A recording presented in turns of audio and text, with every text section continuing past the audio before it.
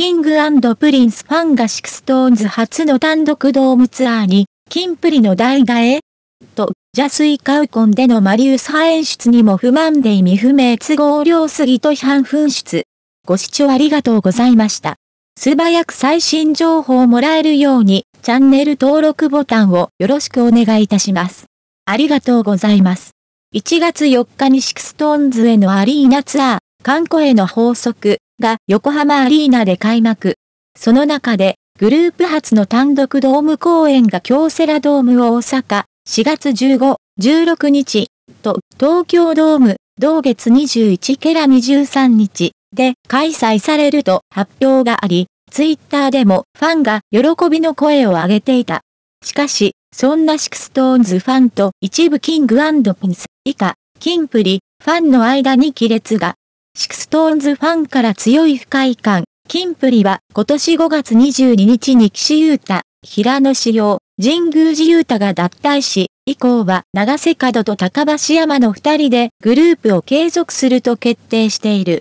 平野と神宮寺は脱退と同時にジャニーズ事務所を離れ、岸も秋には退所する方針だ。5月22日はキンプリのデビュー日で今年は5周年の記念イヤー。本来ならコンサートなどで大々的に盛り上がるはずでしたが、グループの分裂が決まったためそれどころじゃない。現状、5人では最後となる単独コンサートの発表もありません。芸能ライター。そんな中、4月にシクストーンズへの単独ドーム公演が行われると発表されたわけだが、ツイッター上の一部キンプリファンは、このドームはキンプリの5周年公演のために押さえてたんじゃないかキンプリの今年のドームツアー白紙になった分がシクストーンズにいったんかな、とか思ってしまう。ストのドーム、キンプリの代替えだったら、最後のコンサート絶望かななどと邪推。こうした書き込みを目にしたシクストーンズファンは当然、ストのドームキンプリ枠とか妄想が過ぎるキンプリで押さえてたドームストに取られた。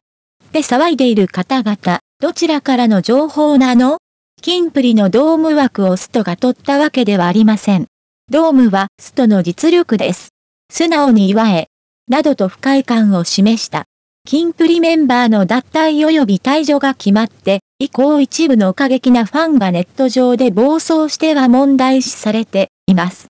今回も SixTONES及び彼らのファンのお祝いムードに水を差してしまったわけですが、年末年始にかけてはセクシーゾーン、以下、セクゾ、ファンを困惑させていました、スポーツ紙記者。ジャニーズは昨年12月31日から今年1月1日にかけてジャニーズカウントダウン2022の2023以下、カウコンを開催。キンプリも出演し、5人では最後のカウコンとしてファンも注目していた。一方、セクゾは昨年末、メンバーのマリウス派の脱退と退場、芸能界引退を発表。マリウスは2020年12月から体調不良を理由に芸能活動を休止していたが、昨年4月発売のフライデー講談社でヨーロッパ留学を報じられた。意味不明都合良すぎ、そして結局同年12月27日にマリウスの脱退や引退が公に。